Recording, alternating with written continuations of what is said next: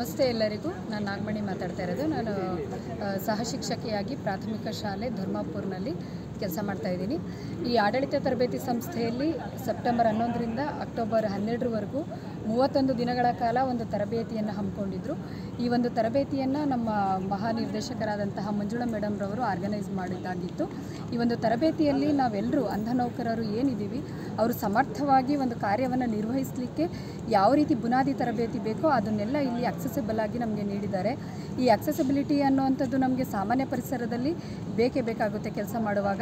ಅಂತಹ ನಿಟ್ಟಿನಲ್ಲಿ ಇಲ್ಲಿನ ಎಲ್ಲ ಬೋಧಕರು ಮತ್ತು ಡೈರೆಕ್ಟರ್ ಕೋರ್ಸ್ ಡೈರೆಕ್ಟರ್ ಆದಂತಹ ಕೃಷ್ಣನ ಮೇಡಮ್ರವರು ಶಂಕರ್ ಸರ್ ಅವರು ಹಾಗೆ ಚೇತನ್ ಸರ್ ಅವರು, ಅವರ ಜೊತೆಗೆ ಎಲ್ಲ ವಾಲಂಟಿಯರ್ಸು ಮತ್ತು ಎಲ್ಲ ಕ್ಷೇತ್ರದಲ್ಲೂ ಈ ಎ ಟಿ ಐ ಸಂಸ್ಥೆಯ ಓರಿಯೆಂಟೇಷನ್ ಜೊತೆಗೆ ನಮಗೆ ಕಲಿಕೆಯನ್ನು ನೀಡಿದ್ದಾರೆ.